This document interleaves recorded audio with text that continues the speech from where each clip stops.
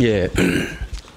작년에 제가 평양을 오랜만에 가봤어요. 그 2007년도에 가보고 11, 11년 만에 갔으니까 예, 가보니까 2000, 2000년도에 제가 한번 가보고 2007년도에 가보고 2018년도에 가봤는데 그 자꾸 변해가는 모습이 눈에 띄게 보입니다. 특히 2007년하고 그 작년하고 사이에는 큰 변화가 이제 왔어요. 물론 평양만 봤기 때문에 다른 지역은 어떤지 모르겠습니다만 이 전반적으로 슬로건 자체가 많이 바뀌었어요. 전투적인 슬로건이 별로 없고 그 교육으로 다, 그 교육과 과학을 강조하는 그런 슬로건들이 많았고 우리를 보여주는 현장도 되게 그와 관련된 지역들을 이, 보여주는 그런 모습이었고요. 평양 거리가 많이 바뀌었습니다. 그 집도 고층 아파트도 많이 늘어서고 또 호텔에 있는 쇼핑센터에 가 보니까 물품이 굉장히 다양해졌어요. 전에는 중국산 물품이 많았었는데 이번에 가 보니까 예, 북한산 물품으로 거의 다 채, 채워져 있고 음, 물품의 질도 많이 좋아졌어요 보니까 전에보다 그러니까 한 10년 사이에 큰 변화가 이제 오고 있고 이른바 장마당도 많이 쓰고 있고 이런 휴대폰도 많이 사용하고 있어서 전반적으로 김정일 위원장 때하고는 큰 변화가 오고 있는 거거든요. 그래서 이제 그 이런 변화를 우리가 어떻게 받아들일 거냐는 게 굉장히 중요한 앞으로의 과제인데, 예, 물론 뭐 인도적인 지원하는 건 하는 거지만 그 외에 남북 간의 이런 경제 교류를 어떻게 할 거냐는 걸 잘 준비해야 되겠다는 생각을 많이 했고요.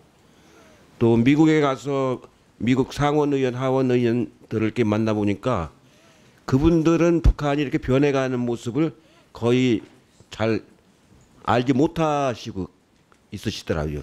하원 의장님 말씀하시는 거 보니까 1990년대 얘기를 그걸 머릿속에 이렇게 가지고 계시거든요. 그래서 그런 그 북한의 변, 변해가는 모습을 예, 추이를 그 특히 미국에 있는 주- 의사결정권자 이런 분들에게 잘 이렇게 전달할 필요가 있, 있겠다 그런 생각을 참 많이 했습니다. 외교부에서도 그렇고 통일부에서도 그렇고 많이 노력을 좀 해주시면 좋겠다는 말씀을 먼저 드리고요. 두 번째는 이제 이 북한하고 이제 여러 가지 교류를 하는데 유엔 제재 때문에 어려움은 있지만 그 그걸 극복할 수 있는 방안들을 찾아야 됩니다. 그냥 그 제재의 틀 속에서 갇혀서 뭘 하려고 하지 말고 극복할 수 있는 방향을 찾아야 되는데 제가 궁금한 거는 여행은 지금 제재 대상이 아닌가요? 제재 대상인가요? 관광 그 자체는 제재 대상이 아닙니다. 관광 자체는요. 예, 예. 글쎄 그러니까 평양에 가 보니까 그 중국 사람들이나 러시아 사람들이 호텔에 많이 묵고 있거든요. 근데 근데 우리가 가는 거는 그 지금 통일부가 허가를 해주, 신청하면 허가를 다 해줍니까? 예, 어, 지금 음, 우리 국민이 음, 북한을 관광을 가는 것은 어, 우리 또 어, 국내 북한 주민 접촉 승인에 대한 음, 절차가 있고 또 신변 안전 보장에 대한 어, 그런 부분들은 좀 갖춰져야 될 것 같습니다. 일단 그 제재 대상은 아닌 거죠. 우리 국민들이 어디 금강산이나 평양이나 개성이나 가는 게제 네, 관광 그 자체는 음, 제재 대상은 아닙니다. 생각은 그래서 다른 건 몰라도 관광은 좀 적극적으로 정부가 권장까지는 아니더라도 이 허가를 해줬으면 좋겠어요. 그리고 실제로 가려고 하는 사람들이 많이 있고 이 주변에 보면은 아직도 그 관광이 제재 대상이라서 못 가는 걸로 알고 있는 분들이 많을 것 같거든요. 그래서 이런 계제의 그 관광을 많이 허가를 해서 우선 사람들이 왔다 갔다 하는 것이 매우 중요합니다.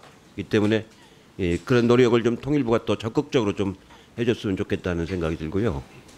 이번 쌀 보내는 것도 이제 그 벼로 보내는 게 아니고 도정을 해서 쌀로 해서 보내는 거죠. 네, 그렇습니다. 예. 그 주위에 이제 가짜 뉴스들이 많아서 그런지 이 맞으면 벼로 보내는 줄 알고 이 막 악의적으로 이제 호- 그 가짜 뉴스를 만드는 경우들이 많이 있거든요. 그래서 그 도정을 해서 쌀로 보낸다는 것을 좀 더 명확하게 해줄 필요가 있을 것 같아요. 네, 그렇게 하겠습니다. 이상입니다.